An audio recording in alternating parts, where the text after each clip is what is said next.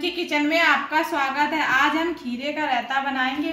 खीरा तो हमारे पेट को बहुत ठंडक देता है और दही भी हमारे पेट को बहुत ठंडक देता है। इसलिए आज हम रायता बनाएँगे।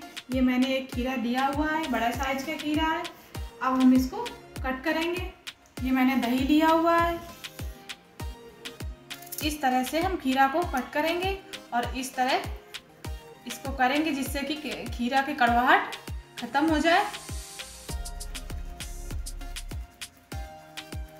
इस तरह से रगड़ने से ये जो फेना फेना सा है, ये कड़वा कड़वा सा इसको इस तरह से कट कर दीजिए, इस तरह से। ये, अब हम इसको छील लेंगे। इस तरह से हम खीरे को छीलेंगे खीरा को मैंने छील लिया है। रायते में डालने के लिए धनिया ली हुई, ये थोड़ा सा पुदीना लिया हुआ इनको भी हम कट कर लेंगे। धनिया और पुदीना और मिर्ची को मैंने कट कर लिया, एक मिर्ची ली हुई है, मैंने छोटी छोटी इसको कट कर ली है। अब हम खीरा को कद्दूकस कर लेंगे, मैंने कद्दूकस लिया हुआ है। इस तरह से हम कद्दूकस करेंगे।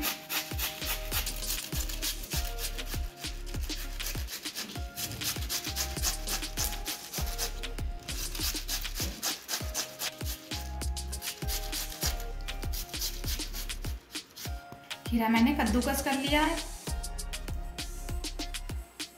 मैंने दही लिया हुआ है, अब दही को हम इस तरह से फेंट लेंगे। दही में हम थोड़ा सा पानी डालेंगे, बहुत थोड़ा सा दही अच्छे से फेंट चुका है, ये दही बहुत गाढ़ा है, इसमें और हम थोड़ा सा पानी डालेंगे। मैंने इसमें आधा कप पानी डाला हुआ है। दही अच्छे से फिट गया, अब इसमें हम खीरा डाल देंगे, जो मैंने ग्रेट किया हुआ था।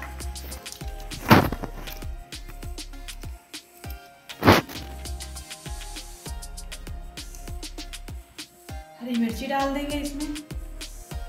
और पुदीना जो मैंने कट करके रख रखा था, ये भी हम इसमें डाल देंगे। और हरा धनिया डाल देंगे। आधा चम्मच इसमें मिर्ची पाउडर डालेंगे। आधा चम्मच धनिया पाउडर डालेंगे। एक चम्मच नमक डालेंगे, सफ़ेद नमक है ये। चम्मच हम काला नमक डालेंगे नमक आप अपने स्वाद अनुसार डाल सकते हैं कम ज़्यादा। अब हम रायते का तड़का बनाएँगे। गैस को ऑन कर दिया। मैंने एक इसमें चमचा रखा हुआ है। इसमें हम थोड़ा सा तेल डालेंगे। सरसों का तेल है ये।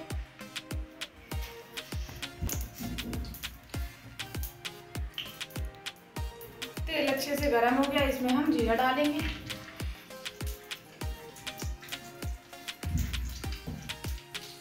एक चम्मच इसमें हम राई डालेंगे। थोड़ी सी इसमें हम हींग डालेंगे। रायता का तड़का बनकर तैयार हो गया। अब हम इसमें डाल देंगे।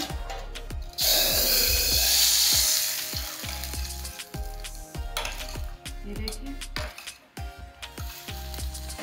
एक चम्मच इसमें भुना हुआ जीरा डाल देंगे। इसको भी अच्छे से मिक्स करेंगे।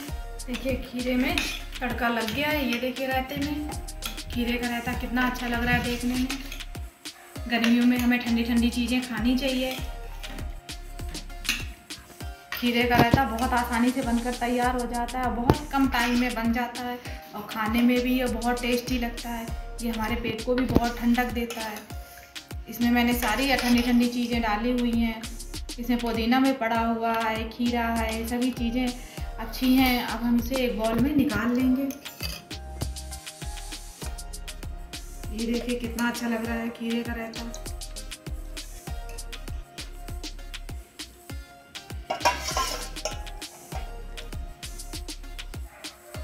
हरा धनिया से गार्निश कर देंगे।